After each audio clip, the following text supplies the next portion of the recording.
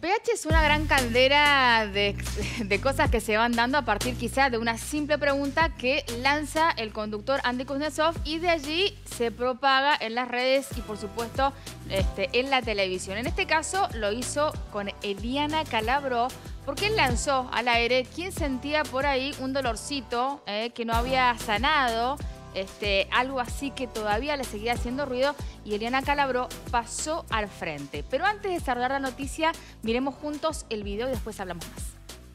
Bueno, voy a hacer público esto que después...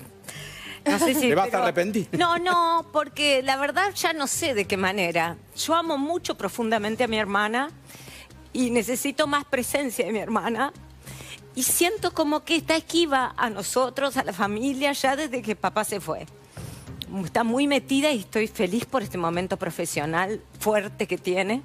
Y siento que tiene que tomar conciencia que hay una familia que la necesita en presencia y que, mm, y que más allá de que yo trato de poner siempre el cuerpo para un montón de cosas, uno a esta altura de la vida necesita estar acompañada por, por esa que es, es la par.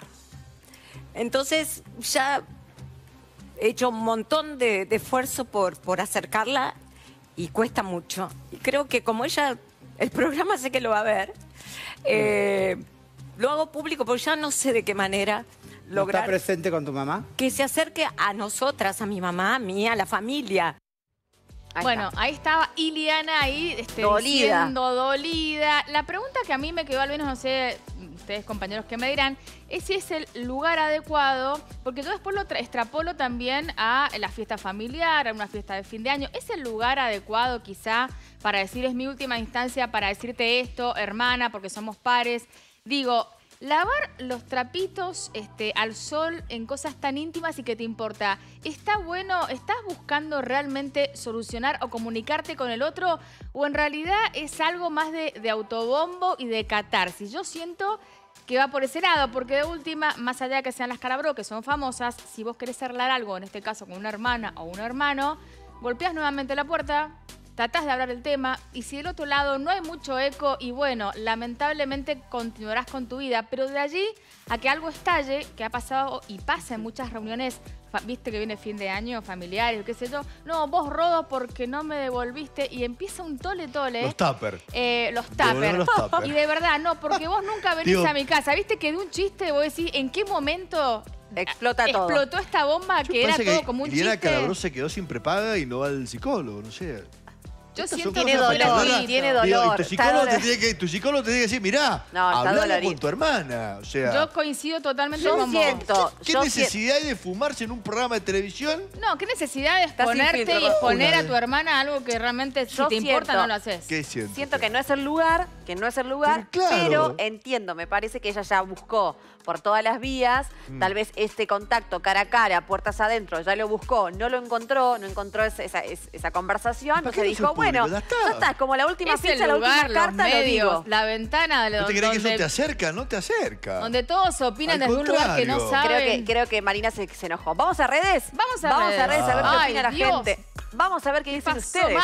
Respecto a este tema, pueden opinar, por supuesto. Todos lloran. Está Mar, que dice, siempre los trapitos al sol se secan en casa o se sacan en casa y de frente. Yo con mis hermanas siempre nos sacábamos los trapitos al sol, pero en casa. No me pareció lo que hizo. Después terminó llorando. Franco Cartofiel dice, yo soy de la vieja crianza, donde mis padres decían que los trapos sucios se lavan en casa. Es decir, para mí no es bueno pelear o sacar los problemas en público. Siempre hay que resolverlo en casa sin intervención de terceros mientras que no sea necesario.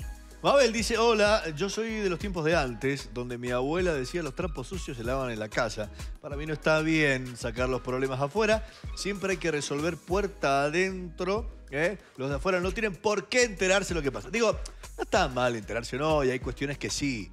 Pero, pero me parece que, esta, que esto es, demasiado doméstico. Esto es como el devolverme los tuppers.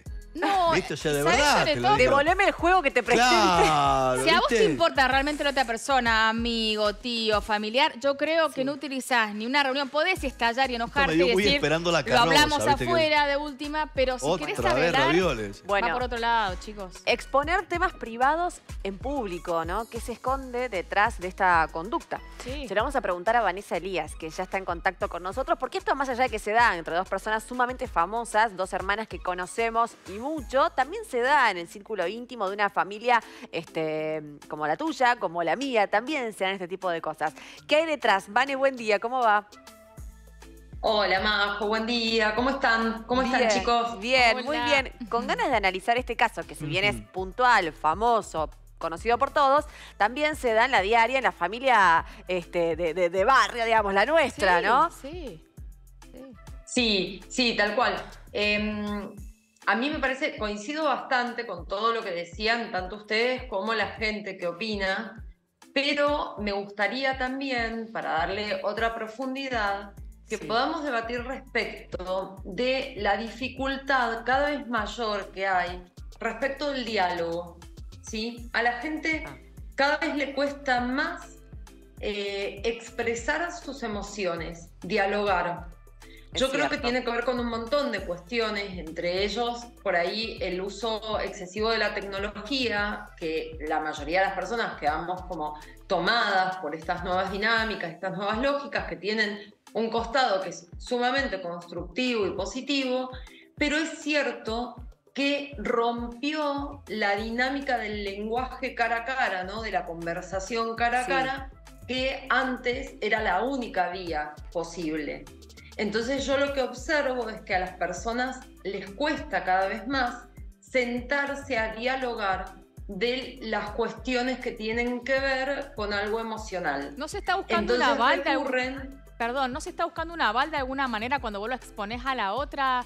Este, de alguna forma, Vane, viste, cuando vos expones es como buscar el aval porque, miren, Majo me, no, no, me devuelve los tuppers, o sea, realmente yo no sé qué hacer. O sea, no es como buscar de alguna forma una complicidad en eso para decir, chicos, yo soy la víctima. O sea, la verdad, llegué a esta última instancia, no sé qué hacer. ¿No hay una victimización también de paso? Algo de eso puede haber. Mira, ahora vamos a entrar ahí. Igual el tema de los tuppers, chicas, los debatimos después porque para mí es un tema. Los tuppers quiero que me los devuelvan. ¿Dónde quedaron tantos tuppers que yo tenía? pero por favor, o sea, cada vez menos en la alacena. Pero escúchenme, algo de eso hay, Anita, porque... Pero a ver, ojo, que a veces ese aval tiene que ver con la inseguridad que yo estoy teniendo respecto de una situación que me desborda y no sé cómo afrontarla. Claro. Entonces, si lo llevamos más allá de este caso que ustedes traen, que claramente como se trata de dos personas que son famosas en el ámbito argentino, que un poco de hecho, hasta parte de su fama tiene que ver con esto de la familia, ¿no? La familia italiana, la familia, o sea, como con un modelo familiar de exponer trapitos al sol, porque de hecho este, mm, eh, las hermanas Calabró, sobre todo eh, Iliana, se hizo más conocida y más famosa con este personaje de la ama de casa, medio torpe y no sé qué, que exponía lo que pasaba en la intimidad de su hogar, ¿no? Exponía su relación con su marido, lo que pasaba con sus hijos, ¿no? Todas conocimos eso, el Rossi creo que era, no sé, el mal. Rossi, Entonces, ¡ay, el Rossi! No, claro, porque Terminó preso, Rosy. ¿Dónde está Rosy? No, no, no lo traigamos porque no sé dónde está. Quedó metido con Fariña y todo eso. Sí, no sabemos dónde está, Rosy. Pero ella traía, ¿no? Traía esa intimidad A, los medios todo ah. el tiempo. bueno, pero eso es un negocio. Claro, y me parece que es un poco también la característica que ella tiene, pero si lo llevamos a lo cotidiano, ¿no? Esto que decían por ahí al principio de qué pasa en la cena de navideña, cuando aparecen estas cuestiones, yo creo que también tiene que ver con las propias inseguridades. Cuando no sé cómo abordar a la otra persona, cuando me siento desbordada y no sé ya cómo plantear. Cuando muchas veces, porque también sucede que muchas veces nos preocupa a alguien que queremos, un hermano, una hermana, un eh, papá, mamá, primo, no importa, ¿no? Alguien muy cercano que queremos mucho, nos preocupa y a veces intentamos por los medios que conocemos o de los que disponemos, y sentimos que no llegamos, ¿no? Que no, que no hay forma. Vane, Entonces pero... a veces sí. poner que para mí no es el camino igual, porque lo que hace siempre es alejar a la otra persona, porque lógicamente lo que siente es que su herida o su dificultad queda ahí sobre la mesa en un contexto en el que no le das la posibilidad. No, claro, te iba a decir.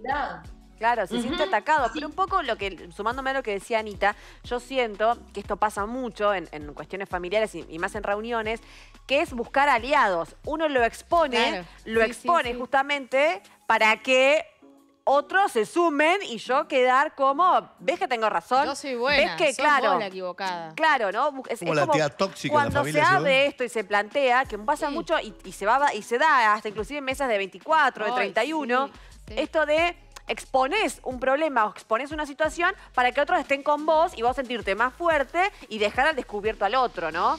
Tal vez intentando que recapacite, no digo que a lo mejor el fin uno no lo plantee como bueno, lo que pasa es que cómo lo siente el otro, ¿no?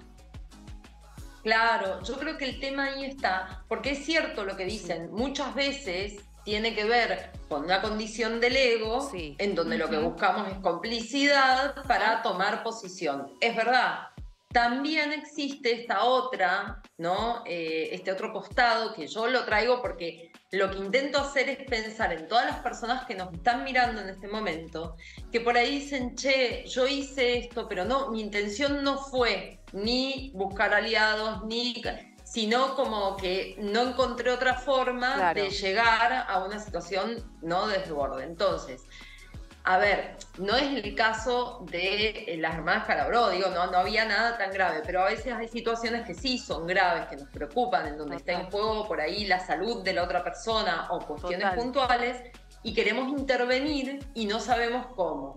Yo ahí sí les quiero decir a las personas que nos escuchan que es muy importante entender que los tiempos son subjetivos la imposición de tiempos es una de las violencias cotidianas más tremendas y naturalizadas desde que llegamos al mundo. Se nos imponen tiempos durante toda la vida. Todo lo tenemos que hacer según el tiempo de alguien más, que alguien estableció en algún momento, ¿no? Pero que no es el propio. Entonces, cuando estamos transitando procesos emocionales muy profundos y difíciles, como puede ser, se me ocurre, ¿no? Voy a traer esto, tomémoslo con pinzas, pero, por ejemplo, puede ser el duelo en el caso de las Calabró, porque su papá, que fue una figura tan importante, murió no hace tanto, entonces se encuentran, ¿no? Resguardando esto, como la, familia tipo que sostuvieron durante tantos años, ya no está así. Entonces, supongamos que es el duelo, ¿sí? Bueno, no estamos sabiendo bien cómo transitarlo y a unas el duelo nos genera más cotidianidad, refugio, ¿no? Y, este, como nos enlaza, nos encuentra, y a otras personas el duelo nos aleja porque necesitamos ir hacia adentro, necesitamos distancia y elaborar ese dolor, ¿no? Esa emoción. Entonces, para la gente que nos escucha, es muy importante hacer el proceso de, si no estoy encontrando la forma, pedir ayuda, como decía Rodo, ¿no? Si no es en una terapia, si no me siento cómoda yendo al psicólogo o a la psicóloga, bueno, hay, por suerte hoy, un montón de otras herramientas, pero pedir ayuda para ver cuál es la forma más amorosa y constructiva de abordar, porque si no, claro que el resultado final es que la otra persona se sienta expuesta, atacada, violentada y se aleje, ¿no? No me voy a querer este, eh, seguir vinculando con alguien que en lugar de respetar mis tiempos y ver lo que me está pasando, está exponiendo mi imposibilidad o mi dolor. Vane, para cerrar, ¿qué le dirías? Entiendo y te, sigo lo que decís. ¿Qué le decís? ¿Qué le dirías vos a alguien que dice, ya intenté todo? Y yo quiero, quiero acercarme, pero ya intenté todo. Bueno, sin duda que exponerlo no es la, no es la mejor opción. ¿Qué le dirías a alguien que como Iliana dice, yo ya intenté acercarme de mil maneras y me duele tenerla lejos? ¿Qué puede hacer?